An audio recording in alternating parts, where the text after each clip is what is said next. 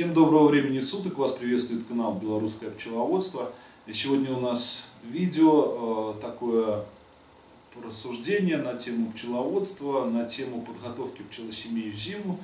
Э, ну и основным вопросом э, в этом деле является закармливание семей э, с помощью ну, сахара. Так? И стоит вопрос, э, каким же сахаром пользоваться.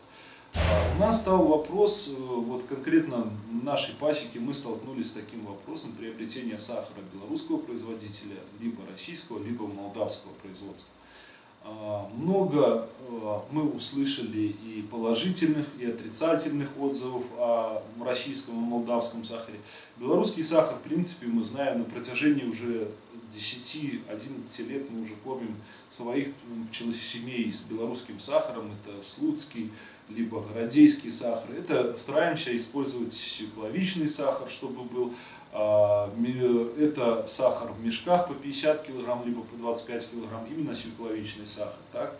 А, но существует, э, как бы, мы хотим, как и в принципе любое производство, хотим сделать его более рентабельным и более прибыльным. А, соответственно, мы стараемся найти какие-то пути, для уменьшения затрат на производство. Ну а и основной такой э, составляющей является сахар. Российский сахар на сегодняшний день и молдавский, они дешевле нашего белорусского. То есть если брать из расчета э, в долларовом эквиваленте, то белорусский сахар будет стоить где-то 80 центов, 75 центов, российский будет стоить где-то 65 центов, 60, даже 60 центов российский сахар. То есть получается серьезная, э, серьезная такая цифра, как мы в этом году покупали 2 тонны сахара, то есть фактически нам нужна будет тонна 800, где-то 200 килограмм мы э, купили с запасом на следующий год на нуклеусное хозяйство и на нуклеусный парк на свой на следующий год. Так? А, но в принципе, если мы в этом году отдали за сахар полторы тысячи долларов за белорусский, а, то в принципе за российский мы бы могли отдать 1100, то есть мы бы могли сэкономить 400 долларов которые, э, которые э, пошли бы нам, к примеру, на развитие пасеки, либо, грубо говоря, ну совсем уже грубо, то есть ну, это было бы уже нашим чистым, чистой прибылью, нашим чистым доходом. А, ну, в нашем случае это, конечно, бы Андрей знает, что пошло бы на э, развитие пасеки в любом случае. У нас деньги в основном туда и расходуются. А, что, что с, с, относительно российского или молдавского сахара? много скепсиса и много положительных отзывов. Но конкретно никто не может сказать, что вот конкретно я э, закормил всю пасеку. Это, ну, я рассуждаю сейчас про своих белорусских э, пчеловодов. Никто не может конкретно у нас сказать, я закормил всю пасеку российским сахаром, и я доволен полностью, полностью всем доволен, э, меня все устраивает, я буду покупать российский сахар. Мы обращаемся в этом видео к своем а, к нашим украинским коллегам, к нашим российским коллегам, молдавским коллегам, в комментариях написать, э, какого завода сахар, каким сахаром вы кормите, свекловичным, тростниковым, а, какой молдавский лучше сахар, какой российский, может по регионам в России.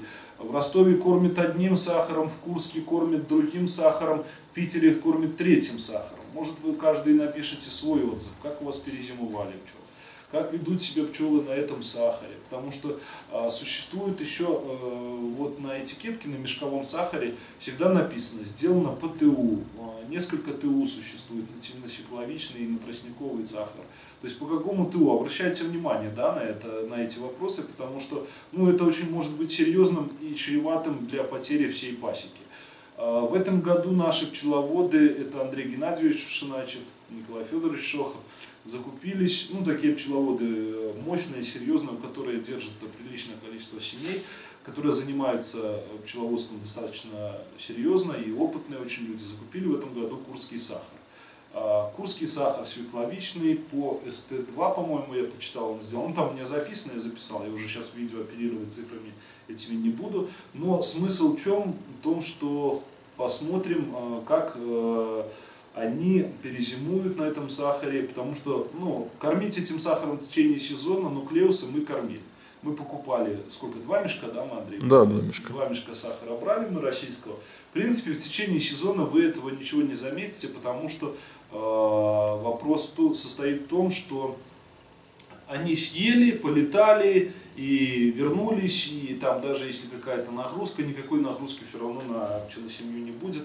А, а это все-таки зимовка, это нагрузка на кишечник, это, значит, э, может, ну, в конце зимовки может негативно повлиять на семью и на а, качество семьи, и на здоровье семьи, да и в принципе на здоровье всей пасеки может повлиять этот сахар. Есть знакомый а, человек, который работает на нашем белорусском сахарном заводе, который сказал, что возможно в каких-то, а, по какому-то ТУ или ГОСТу или там допускам каким-то допускается наличие оксида серы да, в сахаре, допустим. Вот наличие оксида серы в сахаре оно может и негативно повлиять на пчел. Поэтому, может быть, не, даже некоторые пчеловоды наши белорусские говорят, что покупали в России сахар, да, а, подделка, откровенная подделка. То есть я не хочу ни на кого наговаривать, не хочу ни на кого там ну, почки катить, но просто люди ну просто люди купили где-то на какой-то, к примеру, оптовой базе, и там откровенно фальсификат. То есть говорят, что и с манкой перемешивают сахар, и с чем только не перемешивают, поэтому, ну, хотелось бы просто увидеть ваши отзывы, почитать ваши отзывы. Возможно, что эти, я, возможно, я думаю, что эти 400 долларов, они не сыграют большой роли, да, на качестве. То есть мы кормили белорусским сахаром и будем продолжать кормить. Но существует много пчеловодов на сегодняшний день начинающих, которые думают, ага, каким, тем более российский рынок. Ладно, у нас тут три сахарных завода, а российский рынок и украинский он достаточно большой. И все думают, какой же сахар выбрать. Поэтому ваши мнения, ваш э, опыт личный в закармливании пчел зиму, э, каким сахаром, э, какого производителя, где покупали, пожалуйста, пишите в комментариях, мы сами будем рады очень почитать, нам будет тоже интересен ваш опыт, потому что мы сами хотим попробовать и хотим посмотреть, как это у вас получилось. Да. В принципе, делитесь комментариями, не стесняйтесь, потому что у вас ваши комментарии почитает очень много пчеловодов, в том числе и мы, и наши друзья, и знакомые. И, возможно, и мы придем к какому-то общему выводу, сделаем какое-то заключение и будем, не будем бояться все-таки производителей, не тех, которые, как говорится, у нас в Беларуси сделали этот сахар. Вот такое вот видео про сахар хотелось сегодня снять, потому что реально вопрос насущный. И многие наши могилевские белорусские пчеловоды интересуются этим вопросом. Потому что э, иногда даже по белорусскому сахару возникает небольшой дефицит.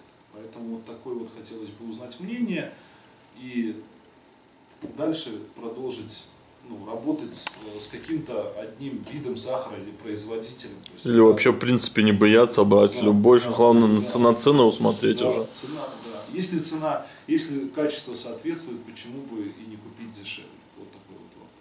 Так что пишите в комментариях, не стесняйтесь. Всего хорошего, до свидания, смотрите наше видео, подписывайтесь на наш канал.